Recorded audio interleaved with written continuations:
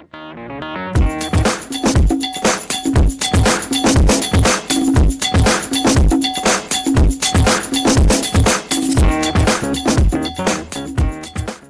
ನಮಸ್ಕಾರ, ಬನ್ನಿ. ಸರ್, ನಾವು ಲಕ್ಕಿಯಾದ ರೈತರು ಮಹೇಶ್ ಅಂತ. ನಾವು ಒಂದು ವಾರದ ಮುಂಚೆ ಹೊಲದಲ್ಲಿ ಇದಾಕಿದ್ದು ಬೀಜ ಹಾಕಿದ್ವಿ. ಅದು ಸರಿಯಾಗಿ ಹುಟ್ಟಿಲ್ಲ, ಮಳೆನೂ ಚೆನ್ನಾಗಿ ಬಂದಿದೆ, ಗೊಬ್ಬರನೂ ಹಾಕಿದ್ದೀವಿ. ಆದರೂ ಮೊಳಕೆ ಚೆನ್ನಾಗಿ ಬಂದಿಲ್ಲ. ಅದು ಏನ್ ಪ್ರಾಬ್ಲಮ್ ಸರ್ ಅಂತ? ಆ, ಮಹೇಶ್ ಈಗ ನೀವು ಬಿತ್ತನೆ ಮಾಡಿದಾಗ ತೇವಾಂಶ ಇತ್ತಾ? ತೇವಾಂಶ ಇತ್ತು ಸರ್. ತೇವಾಂಶನೂ ಇತ್ತು. ಎಲ್ಲ ರಾಸ ಎಲ್ಲ ಗೊಬ್ಬರಗಳನ್ನು ಹಾಕಿದ್ದೀರಾ? ಹಾಕಿದ್ವಿ ಕೊಟ್ಟಿಗೆ ಗೊಬ್ಬರನೂ ಕೊಟ್ಟಿಗೆ ಗೊಬ್ಬರನು ಹಾಕಿದ್ದೀರಾ? ಆದ್ರೂ ಕೂಡ ಮೊಳಕೆ ಬಂದಿಲ್ಲ. ಮೊಳಕೆ ಬಂದಿಲ್ಲ. ಮೊಳಕೆ ಬಂದಿಲ್ಲ ಅಂತಂದ್ರೆ ನಿಮ್ಮ ಮನೆಯಲ್ಲಿರೋ ಬಿತ್ತನೆ ಬೀಜ ಬಿತ್ ಬಿತ್ತಿದ್ರಲ್ವಾ ಹೌದು ಸರ್ ಹೌದು ನಿಮ್ಮ ಮನೆಯಲ್ಲಿ ಬಿತ್ತನೆ ಬೀಜ ಬಿತ್ತಿದಾಗ ಅದು ಯಾವ ರೀತಿ ಮೊಳಕೆ ಬಂದಿತ್ತು ಅಂತ ಏನಾದ್ರು ನೋಡಿದ್ರ ಮನೆಯಲ್ಲಿ? ಮೊದಲು ಏನಾದ್ರು ಪರೀಕ್ಷೆ ಮಾಡಿ ನೋಡಿದ್ರ? ಬೀಜ ಪರೀಕ್ಷೆ ಮಾಡಿಲ್ಲ. ಮಾಡಿಲ್ಲ. ನೀವು ಯಾವಾಗ್ಲೂ ಮಹೇಶ್ ಅವರೇ ಮೊದಲು ನಮ್ಮ ಭೂಮಿಗೆ ಬಿತ್ತನೆ ಮಾಡೋದಕ್ಕಿಂತ ಮೊದಲು ಬಿತ್ತನೆ ಬೀಜನ ನಮ್ಮ ಮನೆಯಲ್ಲಿರುವ ಬಿತ್ತನೆ ಬೀಜ ಮೊಳಕೆ ಬರುತ್ತೋ ಇಲ್ಲವೋ ಅನ್ನೋದನ್ನ ನಾವು ಪರೀಕ್ಷೆ ಮಾಡಬೇಕು. ಅದು ಸುಲಭವಾದ ವಿಧಾನ. ನೀವು ನಮ್ಮ ರೈತರು ನಮ್ಮ ಮಾಡದೇ ಅದು. ಏನ್ ಮಾಡ್ತೀವಿ ಅಂತಂತಂದ್ರೆ ಮಳೆ ಬಂದ ತಕ್ಷಣ ಅಥವಾ ಅವಸರ ಅವಸರವಾಗಿ ಹೋಗ್ಬಿಟ್ಟು ನಾವು ಮೊದಲೇ ಬಿತ್ತನೆ ಮಾಡೋದೇ ಮುಖ್ಯ ಅಂತ ನೋಡ್ಕೊಂತೀವಿ. ಬಿತ್ತನೆ ಮಾಡೋದು ಮುಖ್ಯ ಅಲ್ಲ. ನಾವು ಬಿತ್ತನೆಗೆ ಸಿದ್ಧತೆ ಮಾಡುವುದಕ್ಕಿಂತ ಮೊದಲು ನಮ್ಮ ಮನೆಯಲ್ಲಿರುವ ಬಿತ್ತನೆ ಬೀಜ ಬಿತ್ತನೆಗೂ ಯೋಗ್ಯವಾಗಿದೆಯಾ? ಅದು ಮೊಳಕೆ ಪ್ರಮಾಣ ಬರುತ್ತಾ? ಮೊಳಕೆ ಪ್ರಮಾಣ ಎಷ್ಟು ಭಾಗದಲ್ಲಿ ಬರುತ್ತೆ? ಶೇಕಡ ಎಷ್ಟು ಪರ್ಸೆಂಟ್, ಎಷ್ಟರಲ್ಲಿ ಎಷ್ಟು ಬರುತ್ತೆ? ನೂರು ಕಾಳನ್ನು ಬಿತ್ತಿದಾಗ ಅಥವಾ ಇಷ್ಟು ಕಾಳನ್ನು ಬಿತ್ತಿದಾಗ ಎಷ್ಟು ಕಾಳು ಬಿತ್ತನೆಗೆ ಯೋಗ್ಯವಾಗಿದೆ ಅನ್ನೋದನ್ನ ನಾವೆಲ್ಲ ನೋಡ್ಕೊಂಡು ನಾವು ಬಿತ್ತನೆ ಮಾಡಬೇಕು. ಅದಕ್ಕೆ ರೈತ ಬಂದವರೇ, ಈಗ ನಾವು ಮುಂಗಾರು ಹಂಗಾಮಿನಲ್ಲಿ ಬಿತ್ತನೆ ಮಾಡೋದಕ್ಕೆ ಮುಂಚಿತವಾಗಿ ನಾವು ಬಿತ್ತನೆ ಬೀಜವನ್ನು ಬಳಸ್ತೀವಿ. ಆ ಬಿತ್ತನೆ ಬೀಜನ ನಮ್ಮ ಮನೆಯಲ್ಲಿರೋ ಬಿತ್ತನೆ ಬೀಜನ ನಾವು ಬಳಸುವಾಗ ಬಿತ್ತನೆ ಬೀಜ ಬಿತ್ತನೆಗೆ ಯೋಗ್ಯವಾಗಿದೆ ಎಂಬುದನ್ನು ತಿಳ್ಕೊಳ್ಳೋದಕ್ಕೆ ನಾವೇನು ಮಾಡಬೇಕು ಅಂತಂದರೆ ನಮ್ಮನೇಲೇ ಇರೋಂಥ ಬಿತ್ತನೆ ಬೀಜನ, ಯಾವುದೇ ಒಂದು ಬಿತ್ತನೆ ಬೀಜ ಇರ್ಬೋದು ಶೇಂಗಾ ಆಗಿರ್ಬೋದು, ಉರುಳಿ ಆಗಿರ್ಬೋದು, ರಾಗಿ ಆಗಿರ್ಬೋದು ಹೆಸರಾಗಿರ್ಬೋದು ಉದ್ದಾಗಿರ್ಬೋದು ನಮ್ಮಲ್ಲಿ ಎಲ್ಲ ಬಿತ್ತನೆ ಬೀಜಗಳನ್ನು ನಾವು ಇಟ್ಕೊಂಡಿರ್ತೀವಿ. ಆ ಬಿತ್ತನೆ ಬೀಜಗಳನ್ನ ಇಟ್ಕೊಂಡಾಗ ನಾವೇನು ಮಾಡಬೇಕು ಅಂತಂದರೆ ಅದು ಮೊಳಕೆ ಬರುತ್ತೆ ಇಲ್ವೋ, ನಾವು ಮಳೆ ಬಂದ ತಕ್ಷಣ ಏನು ಮಾಡ್ತೀವಿ ಅಂತಂದರೆ ಬಿತ್ತೋದಕ್ಕೆ ಶುರು ಮಾಡಿಬಿಡ್ತೀವಿ. ಆ ಬಿತ್ತಂತ ಬಿತ್ತಿದಾಗ, ಬಿತ್ತಿ ಆದ ನಂತರ ಏನು ಮಾಡ್ತೀವಿ, ಮೊಳಕೆ ಹುಟ್ಲೇ ಇಲ್ಲ.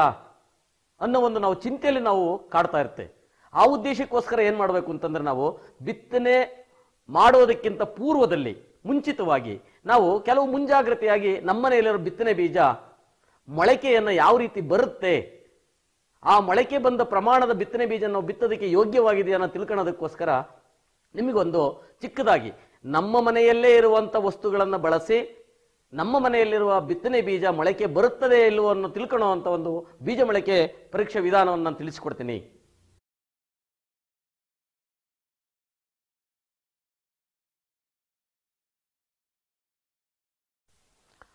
ಈ ಒಂದು ಬೀಜ ಮೊಳಕೆ ಪರೀಕ್ಷೆಗೆ ನಮ್ಮನಲ್ಲೇ ಸಿಗುವಂಥ ಕೆಲವು ವಸ್ತುಗಳನ್ನು ನಿಮಗೆ ತೋರಿಸ್ಕೊಡ್ತೀನಿ. ಮೊದಲನೇದಾಗಿ ನೋಡಿ ನಮ್ಮನಲ್ಲೇ ದೊರೆಯುವಂಥ ಇದೊಂದು ಪ್ಲಾಸ್ಟಿಕ್ ಪೇಪರು. ಇಂಥದನ್ನ ಎರಡು ಪ್ಲಾಸ್ಟಿಕ್ ಪೇಪರ್ಗಳನ್ನು ನಾವು ತಗೋಬೇಕು. ಮತ್ತೆ ನಮ್ಮನೇಲೆ ಸಿಗುವಂಥ ಒಂದು ಎರಡು ಬಿಳಿ ಹಾಳೆಗಳು. ಬಿಳಿ ಹಾಳೆಗಳನ್ನು ತಗೋಬೇಕು. ಮತ್ತೆ ನಮ್ಮ ನೀರು ನಮ್ಮನೇಲಿ ದೊರತೆ ದೊರೆಯುತ್ತೆ ನೀರು ನೀರಿರುತ್ತೆ ಅದೇ ರೀತಿ ಒಂದು ಎರಡು ರಬ್ಬರ್ ಬ್ಯಾಂಡ್ಗಳನ್ನು ನಾವು ತಗೋಬೇಕು. ಮತ್ತೆ ನಮ್ಮ ಮನೇಲಿರೋ ಬಿತ್ತನೆ ಬೀಜ. ಇಷ್ಟು ಪರಿಕರಗಳು ನಮಗೆ ಒಂದು ಬೀಜೋಪಚಾರ ಅಥವಾ ಬೀಜ ಮೊಳಕೆ ಪರೀಕ್ಷೆಯನ್ನು ಮಾಡೋದಕ್ಕೆ ನಮಗೆ ಬೇಕಾದಂಥ ಸಾಮಗ್ರಿಗಳು. ರೈತ ಬಂದವರೇ, ನೋಡಿ ನಾವು ಮೊದಲು ಈ ಪ್ಲಾಸ್ಟಿಕ್ ಹಾಳೆನ ಈ ರೀತಿ ಇಟ್ಕೋಬೇಕು. ಈ ಪ್ಲಾಸ್ಟಿಕ್ ಹಾಳೆ ಮೇಲೆ ಒಂದು, ನಮ್ದೊಂದು ಪೇಪರನ್ನು ಹಾಕಿ, ಇದಕ್ಕೆ ಪ್ಲಾಸ್ಟಿಕ್ ಹಾಳೆ ಸ್ವಲ್ಪ ಒದ್ದೆ ಆಗುವ ಹಾಗೆ ನೀರನ್ನು ಹಾಕಬೇಕು. ಒದ್ದೆ ಆಗುವ ಹಾಗೆ ನೀರನ್ನು ಹಾಕಿ, ಈ ಒದ್ದೆ ಆಗುವಾಗೆ ನೀರನ್ನು ಹಾಕಬೇಕು. ನೀರನ್ನು ಹಾಕಿದಾಗ ನಾವು ಏನು ಮೊಳಕೆ ಹಾಕೋದಕ್ಕೆ ಬೀಜಗಳನ್ನು ಬಳಸ್ತೀವೋ ಆ ನೂರು ಕಾಳು, ನೋಡಿ, ನಾವು ನೂರು ಕಾಳು ಬಿತ್ತನೆ ಬೀಜವನ್ನು ಉಪಯೋಗಿಸ್ಬೇಕು. ಈ ನೂರು ಕಾಳು ಬಿತ್ತನೆ ಬೀಜ ಏನು ಮಾಡಬೇಕು ಅಂತಂದರೆ ಈ ಪೇಪರ್ ಮೇಲೆ ಸಾಲಕ್ಕೆ ಇಡ್ತಾ ಹೋಗಬೇಕು. ರೈತ ಬಂದವರೆ, ನೋಡಿ ಈಗ ನಾವು ಈ ಹೆಸರು ಕಾಳನ್ನ ಈ ರೀತಿ ಒಂದು ಸಾಲಲ್ಲಿ ಹತ್ತತ್ತರಂತೆ ಹತ್ತು ಸಾಲನ್ನು ಮಾಡಿ ನೂರು ಕಾಳುಗಳನ್ನು ಆಯ್ಕೆ ಮಾಡಿದ್ದೀವಿ ಈ ನೂರು ಕಾಳು ಮೇಲೆ ನಾವೇನು ಮಾಡಬೇಕು? ಈಗ ಪ್ಲಾಸ್ಟಿಕ್ ಪೇಪರ್ನ ಹಾಕಿದೀವಿ, ಅದ್ರ ಮೇಲೆ ಮತ್ತೆ ಒಂದು ಬಿಳಿ ಹಾಳೆಯನ್ನು ಹಾಕಿ ಬಿಳಿ ಹಾಳೆ ಮೇಲೆ ನೂರು ಕಾಳುಗಳನ್ನು ನಾವು ನಾವು ಬೀಜ ಮೊಳಕೆ ಪರೀಕ್ಷೆಗೆ ತಗೊಂಡಿದ್ದೀವಿ ಈ ನೂರು ಕಾಳು ಮೇಲೆ ನೋಡಿ ಇನ್ನೊಂದು ಬಿಳಿ ಹಾಳೆಯನ್ನು ನಾವು ಹೀಗೆ ಹಾಕಬೇಕು. ಹಾಕಿ ಇದಕ್ಕೆ ಸ್ವಲ್ಪ ನೀರನ್ನ ಚಿಮುಕಿಸ್ಬೇಕು. ಪೇಪರ್ ಒದ್ದೆ ಆಗುವ ರೀತಿ ಚಿಮುಕಿಸ್ಬಿಟ್ಟು ಇದರ ಮೇಲೆ ನೋಡಿ ಇನ್ನೊಂದು ನಮ್ಮ ಪ್ಲಾಸ್ಟಿಕ್ ಪೇಪರನ್ನು ಹಾಕಬೇಕು. ಪ್ಲಾಸ್ಟಿಕ್ ಪೇಪರನ್ನು ಹಾಕಿದ ಮೇಲೆ ನಾವು ಇದನ್ನ ಏನು ಮಾಡಬೇಕು ಅಂತಂದ್ರೆ ರೋಲ್ ಮಾಡಬೇಕು ಅಂತಂದ್ರೆ ಸುತ್ತಬೇಕು. ರೈತ ಬಾಂಧವರು, ಈಗ ನಾವು ಪ್ಲಾಸ್ಟಿಕ್ ಕಾಳೆ ಹಾಕಿದ ಮೇಲೆ ಇದನ್ನು ನಾವೇನು ಮಾಡಬೇಕು? ಈ ರೀತಿ ಸುತ್ತಬೇಕು.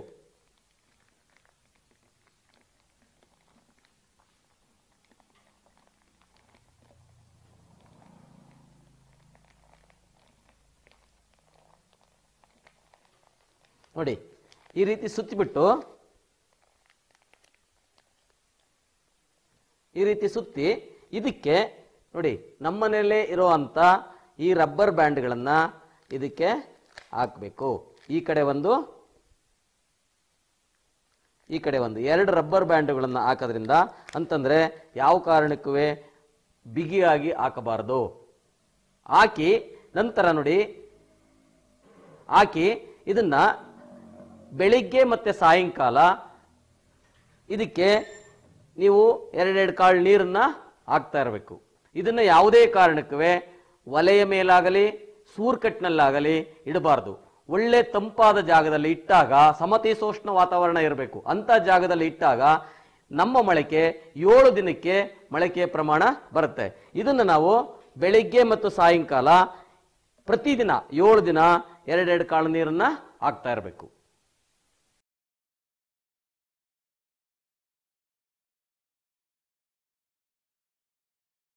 ರೈತ ಬಾಂಧವರೇ, ಈಗ ನಾವು ಮೊಳೆ ಬೀಜವನ್ನು ಮೊಳಕೆಗೆ ಹಾಕಿದ ನಂತರ ಏಳು ದಿನಗಳ ನಂತರ ಮೊಳಕೆ ಬರುವುದು ಒಂದು ಸಹಜ ಪ್ರಕ್ರಿಯೆ. ಆ ಒಂದು ಏಳು ದಿನಗಳ ನಂತರ ನಾವು ಈ ಮೊಳಕೆ ಹಾಕಿದಂಥ ಬೀಜವನ್ನು ನಾವು ಈಗ ಈ ಒಂದು ಪ್ರಯೋಗದಿಂದ ಬಿಚ್ಚಿದರೆ ನಮಗೆ ಮೊಳಕೆ ಬರುವ ಒಂದು ಪ್ರಕ್ರಿಯೆ ಕಾಣುತ್ತದೆ. ಇದನ್ನು ನಾವೀಗ ಬಿಚ್ಚಿ ನೋಡೋಣ. ನೋಡಿ, ಈ ರಬ್ಬರ್ ಬ್ಯಾಂಡನ್ನು ಬಿಚ್ಚಿದಾಗ ಈ ರೀತಿ ನಾವು ಇದನ್ನ ಹೀಗೆ ನಿಧಾನವಾಗಿ ಓಪನ್ನ ಮಾಡಬೇಕು. ಇದನ್ನ ಬಿಡಿಸಿ ಇಡಬೇಕು. ಬಿಡಿಸಿ ಇಟ್ಟ ನಂತರ ಇದರಲ್ಲಿ ನಮಗೆ ಬೀಜ ಮೊಳಕೆ ಬಂದಿರುವುದು ಗೊತ್ತಾಗುತ್ತದೆ. ಹಾ, ರೈತ ಬಾಂಧವರೇ, ಈಗ ಅದನ್ನು ಬಿಚ್ಚಿದ ನಂತರ ನೋಡಿ ನಾವು ಈ ಪ್ಲಾಸ್ಟಿಕ್ಕನ್ನು ತೆಗೆದು ಅದರ ಮೇಲೆ ಇರುವಂತ ನೋಡಿ ಈ ಪೇಪರನ್ನು ತೆಗೆದಾಗ ಇದರಲ್ಲೂ ಕೂಡ ಕೆಲವು ಅಂಟಿಕೊಂಡಿರ್ತವೆ ಈ ರೀತಿ ನಾವು ನೋಡಿ, ಈ ಕಾಣ್ತಾ ಇದೆ ನಮಗೆ.